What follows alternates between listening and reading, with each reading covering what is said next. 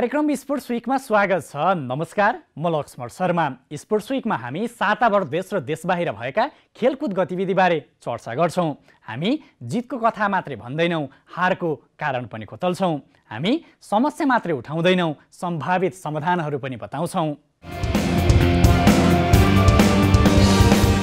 आजको स्पोर्ट्स विकमा काठमाडौँमा हुन लागेको इपिएल क्रिकेटको तयारी एक दिवसीय मान्यता प्राप्त नेपालमा टी ट्वेन्टी फर्मेटका प्रतियोगिताको महत्त्व कति यसै सम्बन्धमा इपिएलका संयोजक अख्तर अलीसँगको कुराकानी पनि रहनेछ। साथै लियोनन मेसी र पोर्चुगलका क्रिस्टियानो रोनाल्डोको दबदबा तोड्दै बलन्डियर अवार्ड जितेका लुका मोडिसको बारेमा तयार पारिएको विशेष सामग्री पनि आजको कार्यक्रममा रहेको छ। साथमा राष्ट्रिय तथा अन्तर्राष्ट्रिय खेल अपडेट पनि लिएर आएका छौँ। कार्यक्रम स्पोर्ट्स विकको सुरु गरौँ। यो साता नेपालमा भएका खेलकुद गतिविधिबाट साथमा हुनुहुन्छ साथीहरू कृति भट्टराई र सैन्द्र राई। राष्ट्रिय फुटबल टोलीका स्ट्राइकर विमल घरते मगरले शहीद स्मारक ए डिभिजन लिगका बाँकी खेल नखेल्ने भएका छन्। च्यासल युथ क्लबका स्ट्राइकर विमल ट्रायल दिन बेल्जियम जाने भएपछि लिगका बाँकी खेल नखेल्ने भएका हुन्। विमल ट्रायलका लागि बुधबार बेल्जियम जाँदैछन्। विमलले बेल्जियममा दोस्रो डिभिजनको क्लब एन्डलेट्समा ट्रायल दिँदैछन्। दक्षिण एसियाली अन्डर ट्वेन्टी वान ब्याडमिन्टन च्याम्पियनसिपमा भारतले आफ्नो दबदबा कायम राखेको छ। नेपाल ब्याडमिन्टन सङ्घको आयोजना तथा ब्याडमिन्टन एसियाको विकास कार्यक्रम अन्तर्गत भएको च्याम्पियनसिपमा भारतले छ स्वर्ण जित्न सफल भयो। भारतका प्रियान्चु रजावतले श्रीलङ्काका रन्थुसका ससिन्धुलाई सोह्र एक्काइस एक्काइस सोह्र एक्काइस सत्रले पन्छ्याउँदै स्वर्ण कब्जा गर्न सफल भए। यस्तै महिला एकलमा भारतकी मालविका बान्चोदले आफ्नै देशकी पूर्वा बार्वेमाथि एक्काइस बाह्र एक्काइस आठको जित निकाल्दै स्वर्ण हात पारिन्। नेपाल पेनक्रेसन एथलिमा सङ्घको आयोजनामा आउँदो जेठभित्र प्रथम महानगर कप पेनक्रेसन प्रतियोगिता हुने भएको छ। सङ्घले दुई हजार पचहत्तर चैतमा देशव्यापी मार्शल आर्ट अन्तर्गतका विभिन्न तालिम सञ्चालन र दुई हजार छयत्तर असोजभित्र प्रथम इन्डो नेपाल पेनक्रेसन च्याम्पियनसिप दुई हजार उन्नाइस समेत आयोजना गर्ने भएको छ। मार्शल आर्ट सम्बन्धी संस्था पेनक्रेसन एथलिमा सङ्घ नेपालले आफ्नो सातौं वार्षिक उत्सवको उपलक्ष्यमा सो निर्णय गरेको हो। राष्ट्रिय खेलकुद परिषद राखेपको आयोजनामा पारा राष्ट्रिय खेलकुद च्याम्पियनसिप कार्तिक सत्र गतेदेखि सुरु भएको छ। प्रतियोगितामा विभिन्न अठार खेलको प्रतिस्पर्धा भइरहेका छन्। पारा राष्ट्रिय खेलकुद च्याम्पियनसिप एक महिनाको अवधिमा प्रतियोगिताहरू सम्पन्न गरिसक्नु पर्नेछ शारीरिक रूपमा अपाङ्ग भएका तथा फरक क्षमता भएका खेलाडीहरूले खेल्ने विभिन्न अठारवटा खेल खेलाइने पारा राष्ट्रिय खेलकुद च्याम्पियनसिप व्यवस्थापन समितिका सदस्य सचिव मिन कुमार शर्माले जानकारी दिनुभयो। नेपाली क्रिकेटको विवाद समाधानका लागि गठन गरिएको स्वतन्त्र समितिको मङ्सिरको अन्तिम साता बस्ने बैठकमा आइसिसीका प्रतिनिधि काठमाडौँ आउने भएका छन्। स्वतन्त्र समितिको बैठक आउँदो मङ्सिर एक्काइस बाइस र तेइस गतेका लागि तय गरिएको छ। स्वतन्त्र समितिमा आइसिसीका अमर शेख नीतिश कोठारी र मोहम्मद अली छन् भने नेपालबाट राष्ट्रिय खेलकुद परिषदको तर्फबाट एलबी छेत्री र निर्वाचित क्यानको तर्फबाट ठाकुर प्रताप थापा सदस्य छन्। यसअघि पनि बारम्बार आइसिसीका प्रतिनिधि नेपाल आएर छलफल गरे पनि विवादको निकास निस्कन सकेको छैन। अब स्वतन्त्र समितिको बैठकपछि भने यसको निकास निस्कनेमा आशा गरिएको छ।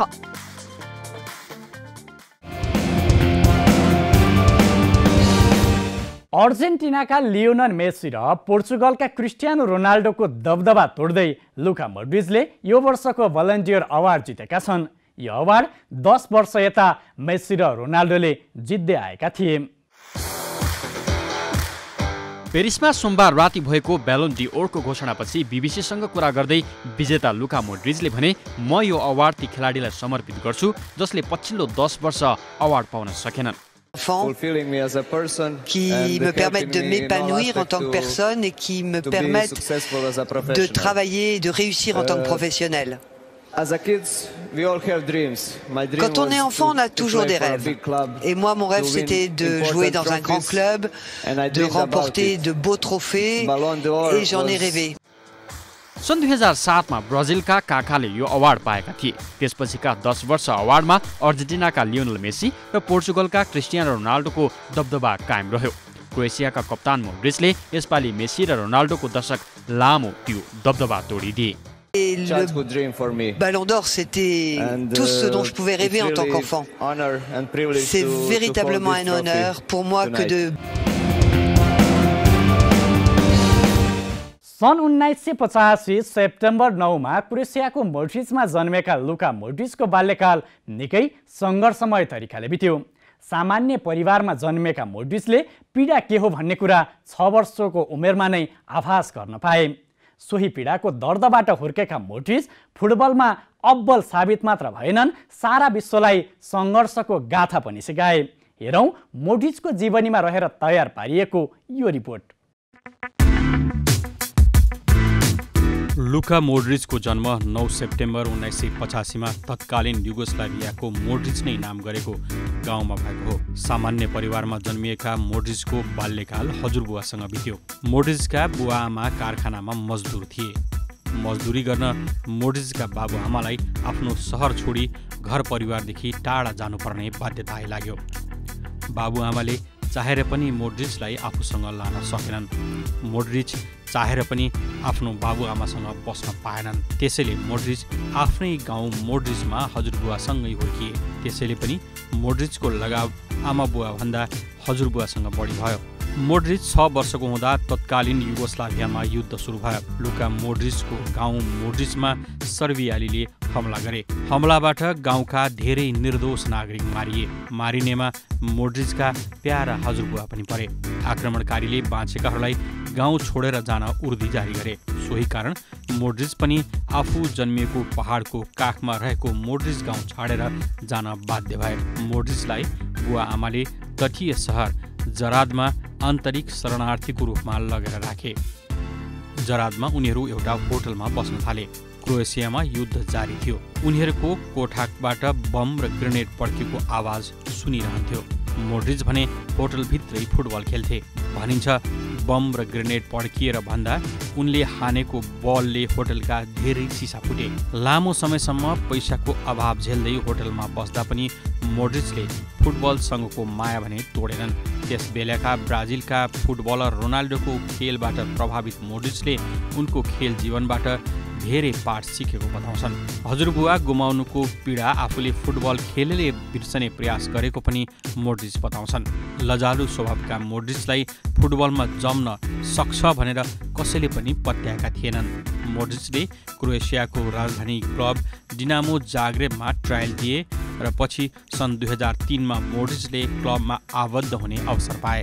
त्यहीँबाट उनको प्रतिभाले प्रस्फुटन हुने मौका पायो र विश्वले मोड्रिजको जादुमय खेल कौशल देख्न पायो। सन् दुई हजार आठमा लन्डनको टोटनह्याम हस्परबाट व्यावसायिक फुटबल खेलेका मोड्रिज सन् दुई हजार बाह्रमा स्पेनिस क्लब रियल मेड्रिड पुगे र उनी अहिले पनि रियलका भरपर्दा मिडफिल्डर छन्। मोड्रिजको वैवाहिक बन्धनको पनि गजबको कथा छ। क्रोएसियाको जाग्रेबमै हुँदा फुटबल एजेन्टकी भान्जी बोत्सिनसँग मेड्रिजको भेट भयो र त्यो भेट प्रेममा बदलियो। चार वर्षपछि उनीहरूले विवाह गरे। उनीहरूका अहिले तीन सन्तान छन्।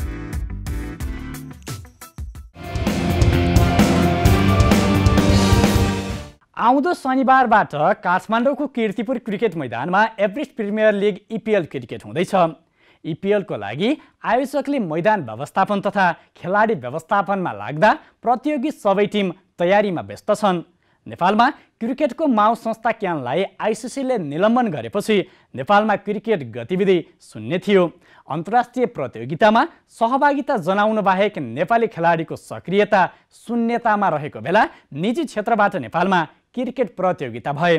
जसले गर्दा नेपाली क्रिकेटको व्यस्तता मात्र बढेन उनीहरूको आर्थिक रूपमा पनि सबल हुँदै गए। यसै सन्दर्भमा नेपाली क्रिकेटमा नयाँ आयाम थप्न सफल इपिएल क्रिकेटका आयोजक अमिर अख्तरसँग हामीले नेपाली क्रिकेटको विभिन्न पाटोमा रहेर कुराकानी गरेका छौँ। कार्यक्रम स्पोर्ट्स विकमा स्वागत छ। धन्यवाद। एभरेस्ट प्रिमियर लिग इपिएलको तयारी चाहिँ कहाँ पुग्यो? राम्रो तयारी छ। इनफ्याक्ट हामी नाइन्टी पर्सेन्ट कम्प्लिट गरिसकेका छौँ।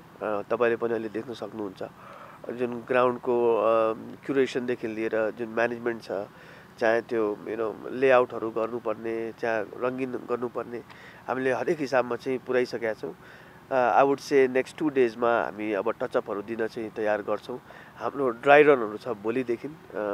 सबै क्यामेरा वर्कहरूदेखि लिएर स्टाफको प्रोसेसदेखि लिएर so like a dress rehearsal विषय यो पछिल्लो समय चाहिँ टी ट्वेन्टी फर्मेटमा विभिन्न लिगहरू भइरहेका छन् जस्तै पिपिएल डिपिएल अनि त्यसपछि इपिएल नाम गरेर हामीले विभिन्न प्रतियोगिताहरू गरिरहेका छौँ। यस्तो टी ट्वेन्टी फर्मेटमा मात्र गरिने क्रिकेटले चाहिँ नेपाली क्रिकेटमा कस्तो टेवा पुग्छ जस्तो लाग्छ?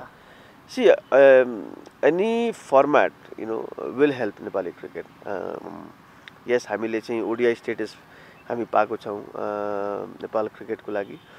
बट अहिलेको हिसाबमा जहाँ अहिले पनि भनौँ न क्रिकेट सङ्घ सस्पेन्सनको बेलामा कुनै पनि क्रिकेट प्रतियोगिताले हेल्प नै गर्छ। यो पछिल्लो समय चाहिँ निजी क्षेत्रले पनि टी ट्वेन्टी फर्मेटमा मात्रै क्रिकेटहरू खेलाइरहेको छ। यो एक दिवसीय मान्यता पाएको नेपालको लागि चाहिँ एक दिवसीय कुनै पनि खेल हुन सकेको छैन। नेपालको राष्ट्रिय टोलीले पनि एक दिवसीय मान्यता पाएदेखि त्यस्तो तरिकाले कुनै पनि खेल खेलिरहेको छैन। यस्तो अवस्थामा निजी क्षेत्रले एक दिवसीय खेल गराउन चाहिँ किन चासो नदिएको हो कि नसकेको के देख्नुहुन्छ? दुइटै हो। तर के छ भने टी ट्वेन्टीको कम्पेरिजन र फिफ्टी ओभर्सको कम्पेरिजन गर्दाखेरि चाहिँ T twenty is a more franchise based cricket अरू विषय इज अ ल्युक्रेटिभ क्रिकेट त्यो सबैलाई विन विन सिचुएसन चाहिँ बनाउँछ। एन्ड तपाईँले पनि एकबाट के बुझ्नुपर्छ भने हामी इपिएल चाहिँ दुई हजार सोह्रदेखि गरिरहेछौँ जुन बेला हाम्रो भनौँ न भर्खर मान्यता सकिरहेको थियो टी ट्वेन्टीको चाहिँ। र हामीलाई त्यो पनि लाग्यो कि टी ट्वेन्टीको मान्यता हुँदाखेरि नेपालमा चाहिँ टी ट्वेन्टी फ्रेन्चाइज क्रिकेट थिएन। हामीले त्यो बेला इन्ट्रोड्युस गऱ्यौँ। बट पछि it's good that you know भर्खर छ महिना अगाडि we got ODI status which is again very good and ODI status अरू ओडिआई लेभल चाहिँ खास अब जुन नयाँ क्रिकेट सङ्घ आउनुपर्ने हो या क्रिकेट बोर्ड जुन आउँछ अब चाहिँ उहाँहरूले चाहिँ यसलाई एडप्ट गर्नु पऱ्यो because like a set ODI fifty overs चाहिँ त्यो चाहिँ फ्रेन्चाइज क्रिकेट हुँदैन। त्यो नर्मली क्रिकेट बोर्डले एउटा लगानीको हिसाबमा एउटा क्रिकेट डेभलपमेन्टको रूपको हिसाबमा चाहिँ उहाँहरूले चाहिँ गर्नुपर्छ। र जे हुन्छ हामी even you know people like us will support that sort of you know initiation चाहिँ हामी गर्छौँ। निजी क्षेत्र व्यापारिक दृष्टिले अलिकति बढी टी ट्वेन्टीतिर लागेको छ होइन no? I mean it's it's unfair I mean now I think the focus should be from the cricket board and the national sports council on the fifty was format because हामीले चाहिँ ODI status हामी पाएको छौँ। र कसैले यसमा चाहिँ initiation चाहिँ लिनुपर्छ राइट एउटै क्षेत्रले या एउटै मान्छेले सबै फर्मेट पनि गर्न गाह्रो हुन्छ। You know at the moment इपिएलको focus भनेको टी ट्वेन्टी नै हो राइट सो फेरि हामी फिफ्टी ओभर्स पनि हामी गर्छौँ भने it's very unfair you know so someone else has to take a lead we can support from behind यो क्रिकेट चलिरहँदाखेरि नेपालमा विभिन्न सङ्घ संस्थाहरू निजी अनि सरकारी तवरबाट पनि पुरुष क्रिकेटलाई मात्र बढी टेवा पुगेको महिलाको लागि चाहिँ कुनै पनि क्रिकेट प्रतियोगिता हुन नसकेको भनेर स्वयं महिला क्रिकेटरले नै गुनासो गरिरहेका छन्। निजी क्षेत्रको योतर्फ किन ध्यान नगयो होला म महिला क्रिकेट गराउन। मैले भने सेम कुरा सुरुमा गर्दाखेरि इट्स अल अबाउट प्याकेजिङ अब अस्ट्रेलिया जस्तो ठाउँमा या इङ्ल्यान्ड जस्तो ठाउँमा जहाँ डेढ सय वर्षको क्रिकेटको हिस्ट्री छ यु नो बल्ल उहाँहरूको T twenty world cup and franchise cricket चाहिँ केही हिसाबमा चाहिँ चलिरहेको छ। यो लास्ट टु थ्री इयर्सको इम्प्याक्ट होला। हाम्रो क्रिकेट हिस्ट्री पनि धेरै पुरानो त छैन। प्लस के छ भने आफ्नै च्यालेन्जेसहरू भित्रै छन् you know and no offence to any women's cricket I mean they are doing equally good women's क्रिकेटले नेपाललाई धेरै चाहिँ नाम चाहिँ दिलाएको छ। यो भन्न मिल्दैन कि पुरुषको क्रिकेट चाहिँ प्रायोरिटीमा बस्नुपर्ने हो यु नो स्पोर्ट्समा त्यो कहिले पनि हुनु हुँदैन।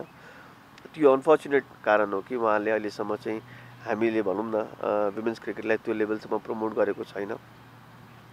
बट मैले भने कि यदि यु नो भोलिको टाइममा इपिएल मेच्योर हुन्छ इपिएलको मार्केट भ्याल्यु बढ्छ we can also take initiative at least म इपिएलको कुरा गर्दाखेरि to introduce some women's cricket format also यो अब क्यान आइसकेपछि जुन विवादले गर्दाखेरि क्यान निलम्बनमा परेको छ क्यानले चाहिँ नेपालको क्रिकेट विकासको लागि के गर्नुपर्छ जस्तो लाग्छ? क्यानलाई सुझाव के दिनुहुन्छ?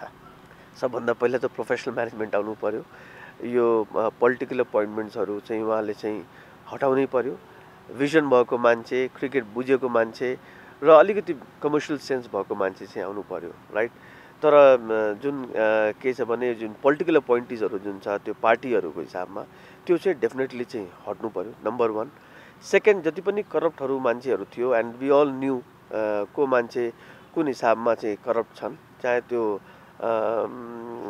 यु नो त्यो ग्राउन्डको इक्विपमेन्ट होस् कि human trafficking sorry all you know त्यो उनीहरूले भिजा प्रोसेसमा के के कामहरू गरिरहेको हुन्छन् यो सबै मान्छेहरूलाई चाहिँ हामीले साइड लगाउनै पऱ्यो उहाँहरूको इन्टेन्सन भनेको क्यानमा आएर आफ्नो प्लेटफर्म बनाउने र पैसा खाने थियो राइट त्यो मान्छेलाई फिल्टरिङ गरेर हामीले चाहिँ नयाँ व्यवस्थापनमा मान्छेहरू ल्याउनु पऱ्यो अर्को कुरा के भने जन्तीको टोली नहुनु पर्ने लास्ट लास्ट टाइम जस्तो हाम्रो बत्तिसवटा क्यानको टोली मेम्बर थियो। This is a rubbish I mean BCCI जस्तो संस्थामा जुन संसारको सबभन्दा ठुलो र पावरफुल क्रिकेट बडी छ they have eleven twelve members thirteen members I guess board members right र एउटा क्रिकेट सङ्घमा भनौँ न दुई करोड अस्सी लाख पपुलेसनमा अनि नन टेस्ट प्लेइङ कन्ट्री हुँदाखेरि बत्तिसवटा यो जन्तीको टोली चाहिँ एज अ मेम्बर बसिरहेछन् भने what do expect of course they will fight right and they will argue and they will not argue they will not agree and all this things will happen should have maximum i would say 7 to 8 people or or maybe 11 people. Uh, not more than that right? यो बत्तिसदेखि हामीले एघारमा चाहिँ झार्नु पऱ्यो त्यसमा mixture हुनु पऱ्यो तिन चारजना उद्योगपति हुनु पऱ्यो तिन चारजना स्पोर्ट्स टेक्नोक्राट्स हुनु पऱ्यो तिन चारजना क्रिकेट फर्मर क्याप्टेन्स फर्मर प्लेयर्सहरू पनि त्यसमा चाहिँ आउनुपर्छ। इन्डियन प्रिमियर लिग आइपिएलमा दिल्ली डेयर डेभिल्सको नाम परिवर्तन भएको छ। एघार सिजनसम्म दिल्ली डेयर डेभिल्सको नामबाट खेलेको उक्त फ्रेन्चाइजको मङ्गलबार नयाँ नामाकरण गरिएको छ दिल्ली क्यापिटल। गत सिजन नेपालमा सन्दीप लामेछानेले दिल्ली डेयर डेभिल्सबाट खेल्दै आइपिएलमा डेब्यू गरेका थिए भने आइपिएल खेल्ने पहिलो नेपाली खेलाडी बनेका थिए। एघार सिजनमा दिल्लीले अहिलेसम्म उपाधि जित्न सकेको छैन भने प्रदर्शन पनि राम्रो भएको छैन।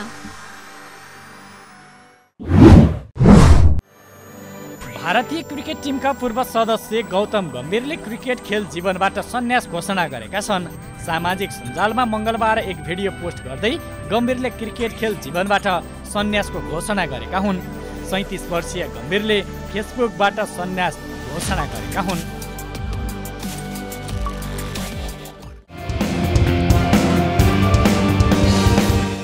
नेपाली खेल क्षेत्रको विकास र प्रबन्धनमा समर्पित कार्यक्रम स्पोर्ट्स विक आजका लागि यति नै।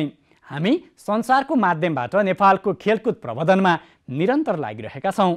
तपाईँको यो साता शुभ नमस्कार।